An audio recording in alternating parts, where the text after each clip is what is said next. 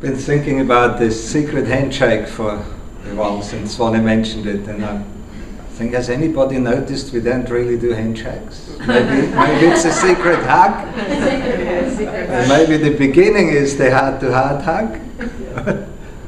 so that's as far as I tell you the secret of the diamond. But I want to go into this network marketing is caught and not taught.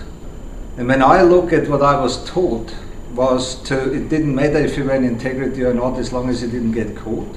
Oh.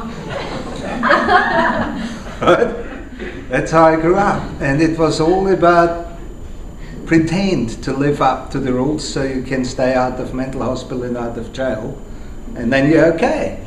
no? And and wealth wasn't something that was around me. So it was more, it had a negativity with it. Wealthy people, this were the bad people that I didn't know. And the movies all put the wealthy people in that place, and the newspaper puts the wealthy people in that place. I didn't have a positive vision of wealth at all. So I, most of you know my story. I ended up as a hermit in the bush for 10 years to get away from all that and I wouldn't be diamond or three star diamond or whatever we call it, I wouldn't be wealthy right now if I didn't have somewhere to look up to and say, yes, that I can live. And for me, it was really Krista because Krista, for Krista to even want to be wealthy was an impossible thought for me from where I knew you, right? And then for Krista to bring this opportunity to create wealth into my reality. And I'm saying, well, Krista wouldn't be there if this wasn't totally in integrity. Right? So it was that an example of integrity. And Krista wouldn't be with Michael if he wasn't totally in integrity, so I could trust. And I know Swan has been looking for this for, for a long time before. And so Swan and Lisa going with Michael and Kristen and me coming in, it was all this, it was a vision of we can get wealthy together with our friends.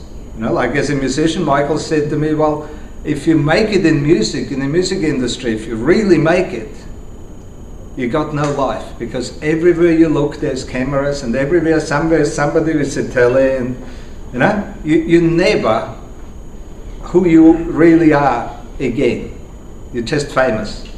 And he said to me, Michael, uh, in this industry you can get wealthy together with your friends. And at the convention, and we haven't seen a convention like that yet, but there's companies who have conventions in a stadium.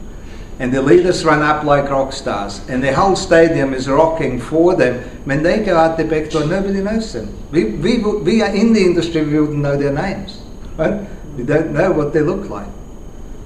So that's what's what's here for us. And, and it's the vision is only as strong as the belief.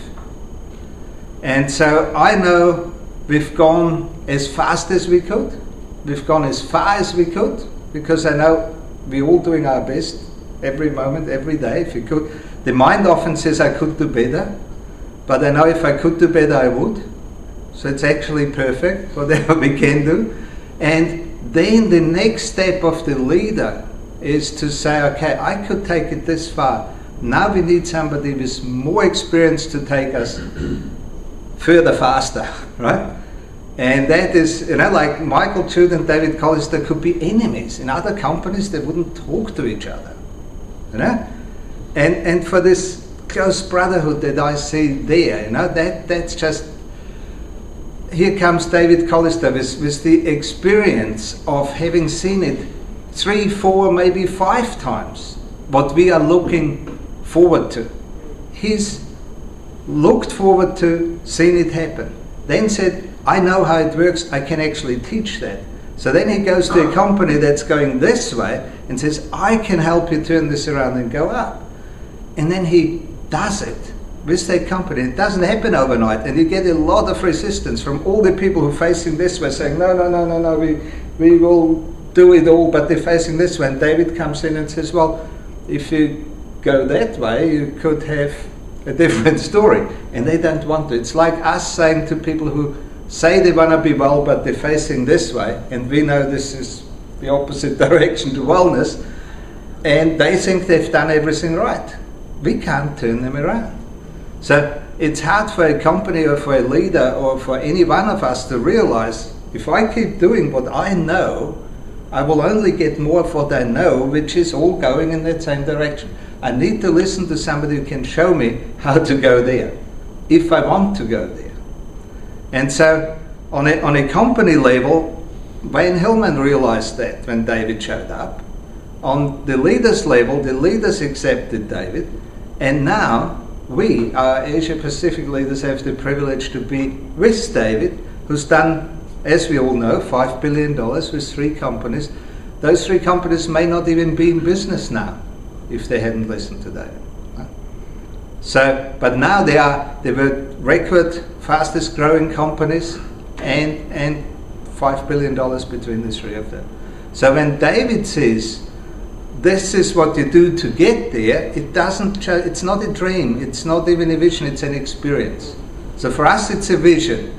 But the vision's only as strong as the belief. And anybody in the pub at midnight can tell you how to run the country or how to play rugby better than the rugby players, right? It's an opinion, it's not a vision, but they think they know better, right? And, and life's full of those people. I grew up with those people. That's what I called when I was young. It was a disease. And now I'm trying to catch wellness rather than a disease. So I had to get out of the disease that was around me, get well enough to start catching wellness rather than catching disease. And what happens at the Diamond Retreat, what happens for you at the Platinum Dream Academy is you catching the wellness that's in this room at that level of wellness. When we were down the road on the peninsula, we were at the level of diamond and above. And it's, it's a different level of wellness on the physical, emotional, mental, spiritual, financial, and social level.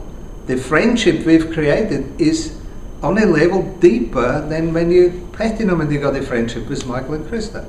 When you diamond, you got a different level of friendship, right? And so that's what we did on the peninsula. We, we had a good time at our level of friendship. And there is room for a thousand at that. You know, yeah, everything's moving faster and faster. Every time somebody else comes into the top level leadership, there's more energy there. We, we're all just energy. We need more energy to go further faster. And I, am just so grateful for David's input and for coming all this way to share. You know, and, and, and there's nobody in your downline here, which is kind of amazing that you bother to come and train us yeah, and share all your. I wouldn't call them secrets because in our it's, this is a new paradigm. We don't do secrets. We mm-hmm. turn it upside down. David shares everything he can possibly share with us, and that's the privilege of this event now. So I stopped talking, and who hasn't talked? Kev hasn't talked. Okay, but I so look forward to David coming up here.